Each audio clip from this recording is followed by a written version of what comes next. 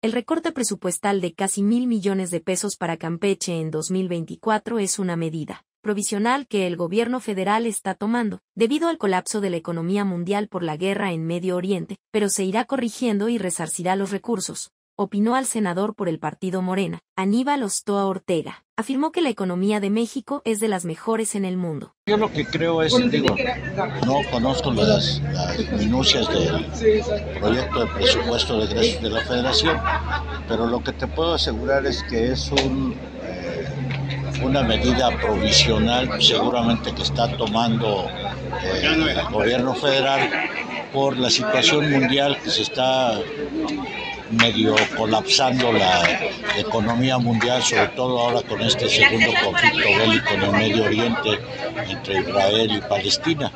Pero siento que sobre la marcha se van a ir corrigiendo algunos problemas de esta naturaleza y que finalmente la federación nos va a resarcir en, algún momento. Independientemente de que la inversión pública que se está haciendo sobre todo en el sureste, por sí mismo eh, este, está reactivando la economía. Creo que hay más este, críticos al interior sobre la estabilidad económica que ha propiciado el gobierno López Obrador, a lo que opinan los analistas del mundo de la economía a nivel internacional. Están hablando que la economía mexicana es una de las mejores en estos momentos en el mundo. Por los números que trae nuestra economía se puede ir compensando.